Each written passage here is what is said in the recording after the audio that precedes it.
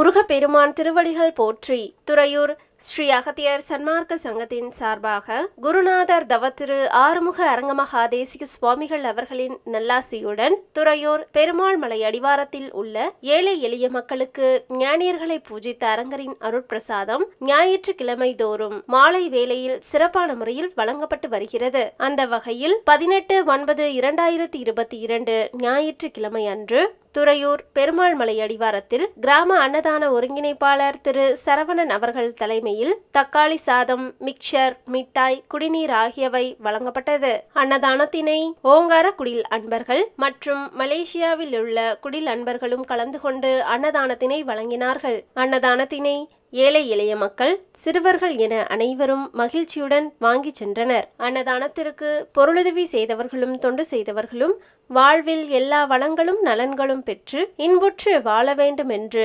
ஓங்காரக்குடி லாசானின் திருவடியை பணிந்து பூஜித்து வேண்டிக் கொள்கிறோம் நன்றி வணக்கம்